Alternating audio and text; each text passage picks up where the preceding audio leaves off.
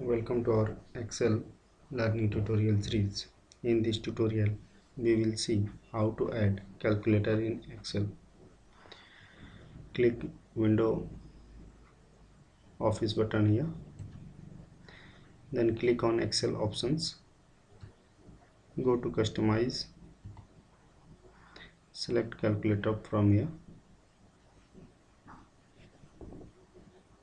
If not in this list then change this commands not in the ribbon.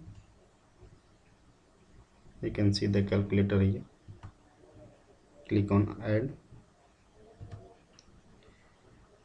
And click on ok here. You can see the calculator icon here. If you want to use it then click on it.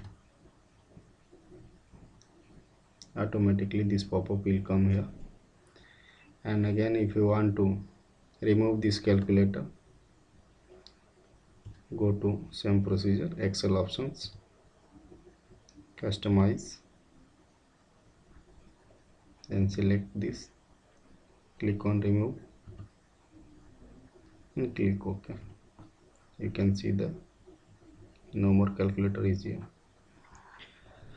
Thank you for watching this tutorial. Please subscribe our channel on youtube